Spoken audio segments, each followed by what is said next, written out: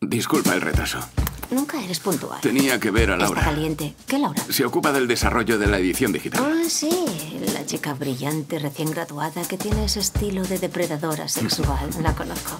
Estás aquí para cambiar un poco las costumbres. ¿Hasta dónde? Eso me lo tienes que decir tú. He comido con Alan. De acuerdo. ¿Qué tal? Se encuentra bien. Pues me alegro. Se encuentra bien. Genial. ¿Y lo de mi libro? No voy a publicarlo. Creía que lo habías entendido. Vamos a hacer un audiolibro.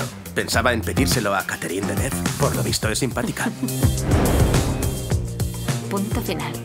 Toco madera. ¿Sabes? Es como Thomas Bernard, que publicó Extinción y se murió.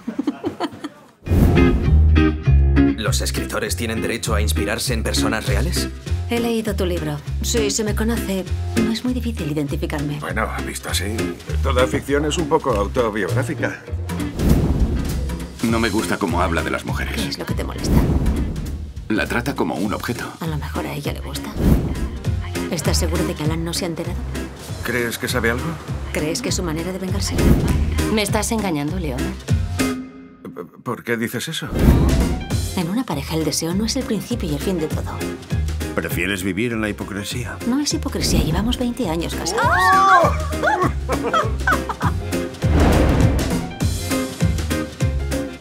no has pensado, bueno, es solo una idea, en hacer un audiolibro de punto final? Se lo hemos propuesto a Juliette Binoche.